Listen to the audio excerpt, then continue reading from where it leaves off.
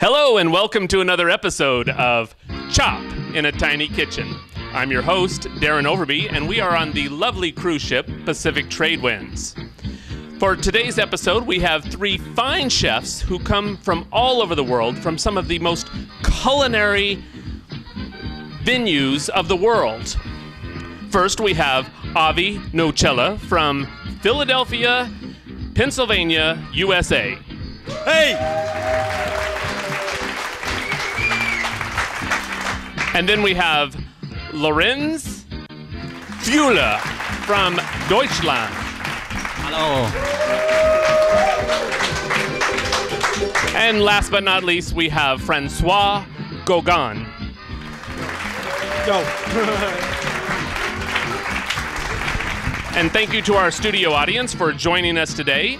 Uh, our judges are among the audience today, and we will get to them just a little bit later in the show.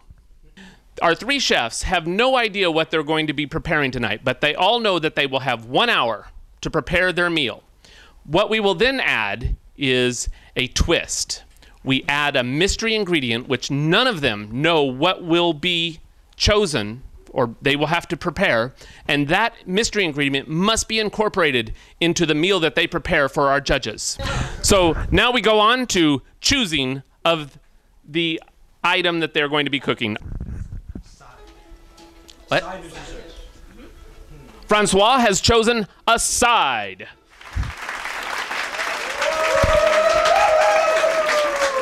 And now we have Lorenz.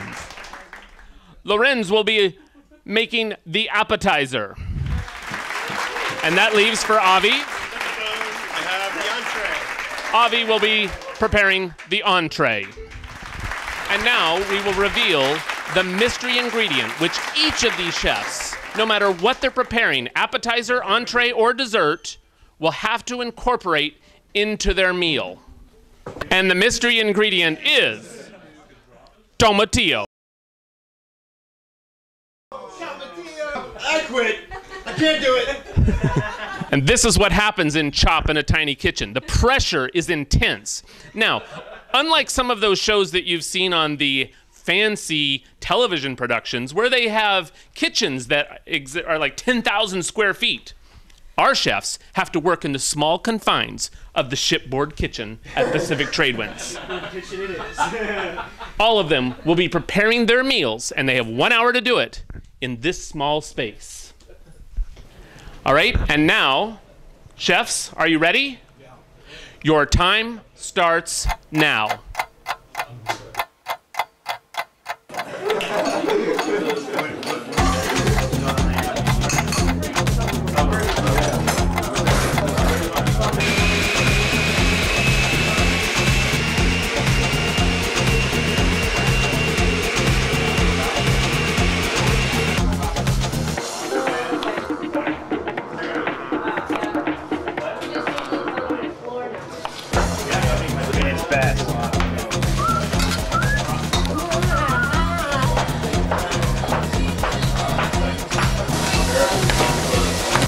What do you think about the uh, preparation so far? What the smells coming out of the kitchen? Um, we're about halfway through now. I overheard them talking before, and they seemed a little at edge dealing with the space and the various assortment of ingredients. It'll be very interesting to see how they incorporate all these things into the final product and who can come through the best in the time that will shortly be running out. And you, of course, have experience in these areas. Can you tell us a little bit about that? Chopping takes time. You have to be dedicated to removing all the extra things that you don't need. These guys are working very quickly, and uh, I think they're only destined for great things. So, JP, we're about halfway through the preparation. You're starting to get some of the smells from the kitchen. And uh, so, what do you think? What do you think so far? Uh, I'm a bit more impressed. They seem to be uh, a bit more organised. They're not running around as frantically anymore. The, the aromas are getting my appetite going, so I'm keen to see what comes out. Great. And have you smelled anything like this in your uh, your experience in Australia? Uh, no, it's more just like meat on the barbie back there, so pretty um, pretty different. Lorenz, what is that you have there? It's plums with uh, prosciutto. I'm curious. It's it smells delicious, right? Very interesting, yeah. So what are you doing over there, Avi? I am sauteing and caramelizing onions and pumpkin right now to go into our pumpkin bisque, and I'm roasting more pumpkin. We're gonna have layers of pumpkin. Layers. cooking risotto. Risotto with uh, fresh tomatillo, cilantro oil, and a little bit of sriracha on top.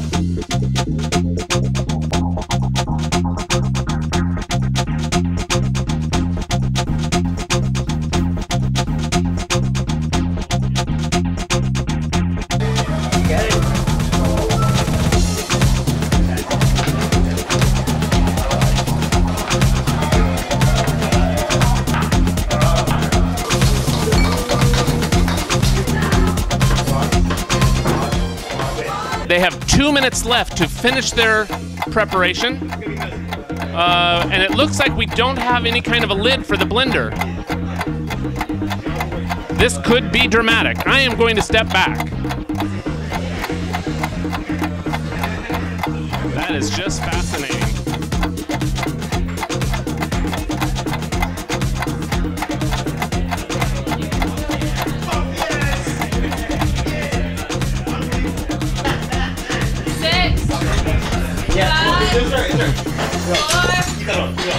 Three. All right, that's it. The timekeeper has called time, and we are finished with our preparation phase at Chopped in a Tiny Kitchen. Risotto is cooked al dente. Tomatillos. Nicely done. I'm happy the sriracha is there. Pablo from Argentina. So, how does this compare to some of the uh, rest- fine restaurants you have in Argentina? No, we we eat this a lot in Argentina, and this is great. It's one of the best I've tried. They should make a profit of this. Yeah, yeah. JP. I'm, I'm actually pleasantly surprised. It's quite nice. There's a nice mix of flavours. It's done well. So, it looks like the next course is coming out. And the, the next course was prepared by Lorenz.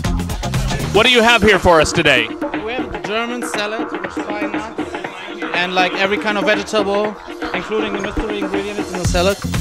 And we have a dried plum wrapped in prosciutto, the Italian ham stuff. I love it. I hope you guys enjoy it.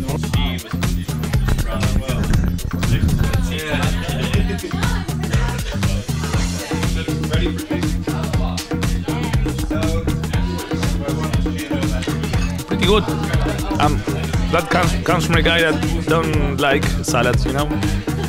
So it's a good thing. In Argentina, you don't have salads? No, no, I don't like me myself. I don't like salads, but this this is good. yeah. And how about the prosciutto with the plum? Now, let me try that. Oh.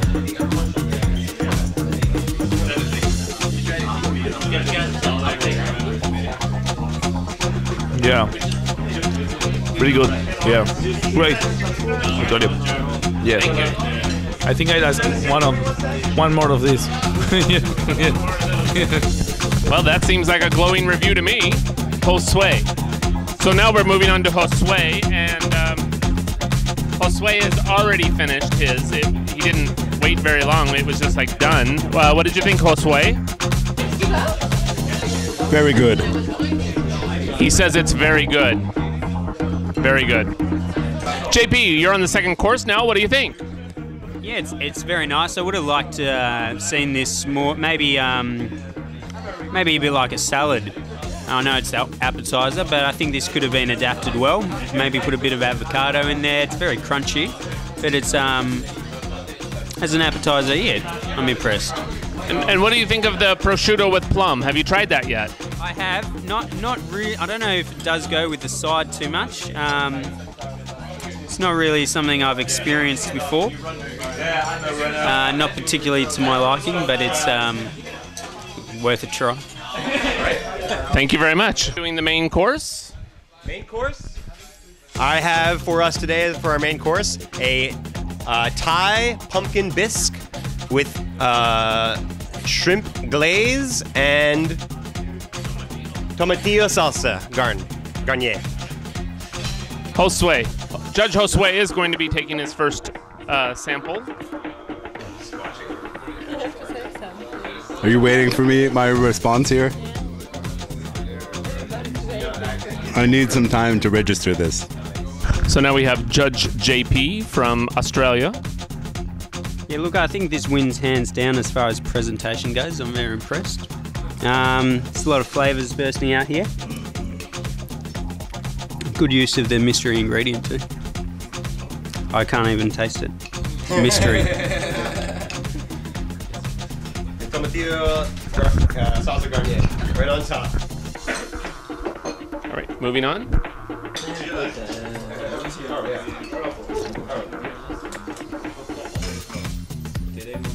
Okay, it's very tasty, bit spicy. yeah.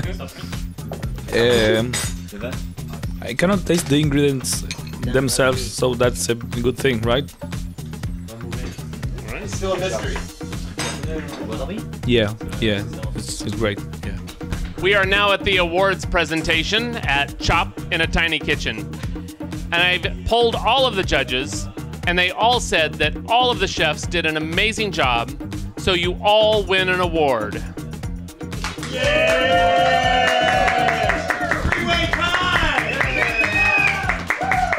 All right, so one at a time, since we're on the ship Pacific Tradewinds, one at a time, I'm going to ask you to come up and you will choose port, starboard, or center, and that will be your prize. So, Francois, go ahead. Choose port, starboard, or center. Port. And Francois gets port. Avi, Starboard. Avi chooses starboard. And that leaves for Lorenz the center. Thank you to all of the chefs who participated tonight, and thank you to our studio audience and the judges and the dishwashers. It's been a wonderful time. And that concludes another episode of Chop in a Tiny Kitchen.